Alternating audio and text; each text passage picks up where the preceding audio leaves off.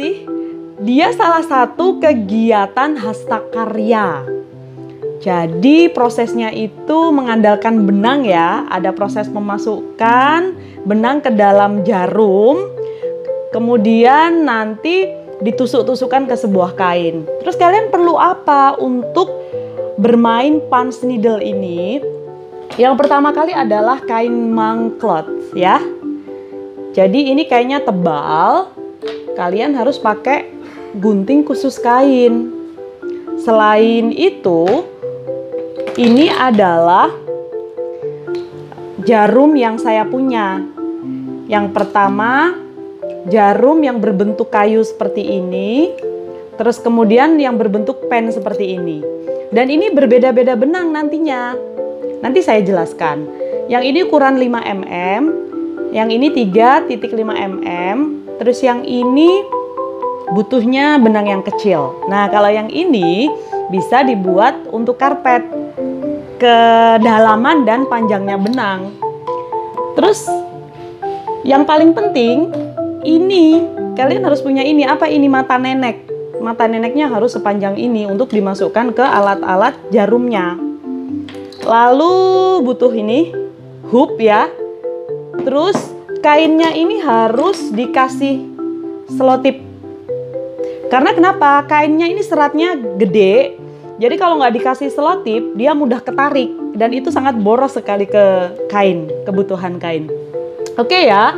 Terus aku akan menunjukkan ini ukuran benangnya. Aku tuh cari benang itu tidak mudah ya teman-teman ya. Jadi jarum yang besar ini 5 mm ini butuhnya adalah benang 8 ply atau biasanya disebutnya medium atau ukuran 4 worsted begitu. Jadi kata kuncinya itu harus difahami.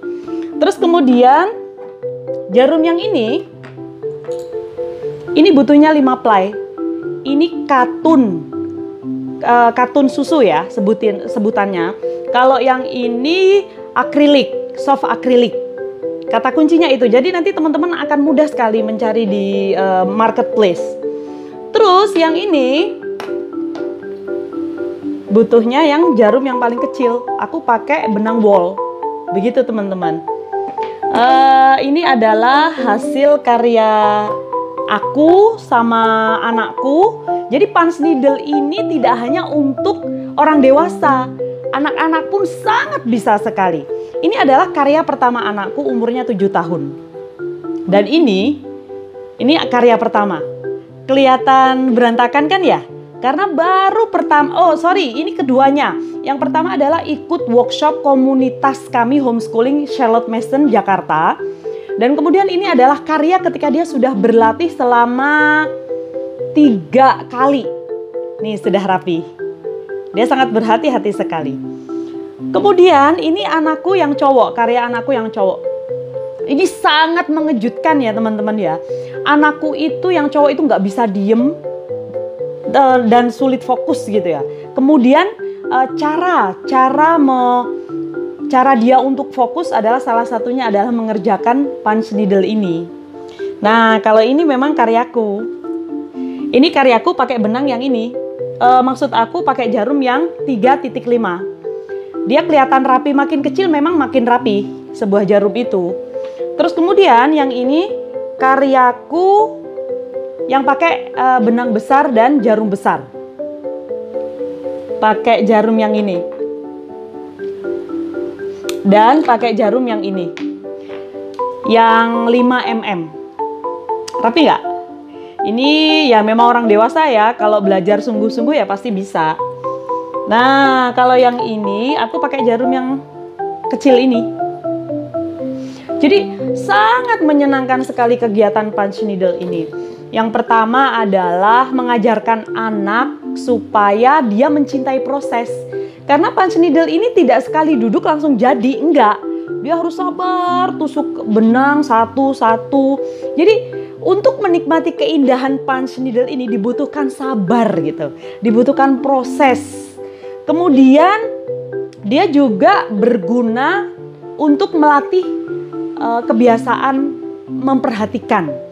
Ini kan kapan kita salah nusuk begitu ya. Jadi ya nanti tidak serapih ini. Jadi butuh perhatian khusus gitu. Anakku suka banget. Bahkan dia itu mungkin tiga kali uh, sekali duduk dua kali tiga kali baru selesai. Jadi nggak begini terus selesai nggak. Uh, sekali mengerjakan terus kemudian nanti dia main karena dia mengeluh uh, punggungnya gitu ya teman-teman ya punggungnya sakit jadi dia tinggal apa ditinggal apa dulu main dulu terus kemudian mengerjakan lagi mengerjakan lagi begitu aku sendiri uh, main punch needle ini cukup ketagihan gitu ya. Tapi ya begitu, aku harus meluangkan waktu yang bener-bener nggak punya agenda prioritas gitu ya, baru bisa main punch needle. Jadi ya cukup menghibur jiwa lah ya. Oke, demikian.